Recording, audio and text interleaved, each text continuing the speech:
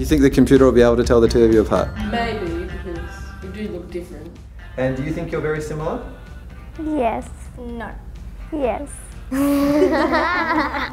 We don't look that alike. Well, I don't think we do. Do? No. I don't think we look alike. Well, I hope we can trick it. It'd be nice to. It's always nice to beat a computer.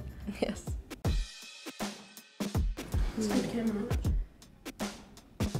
All set. We'll just test that it works. Yep, it's got me. It's windy. It just worked. It just worked. Yeah. That is awesome. Oh. Couldn't recognize you. The, the eye, like the Windows eye is staring at me and it's looking for me, but nothing is happening. Still looking. No. Couldn't recognise me.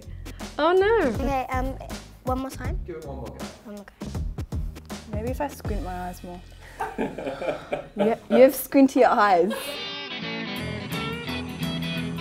It's a little surprising actually. I thought it would have failed, but no, it was really good. It was it really quick. But that's kind of good.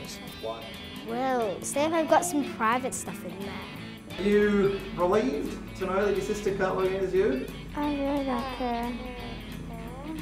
The thing is, we already We pass- passwords. We know each other's passwords. Yeah, for a lot of things. There's so- really no point.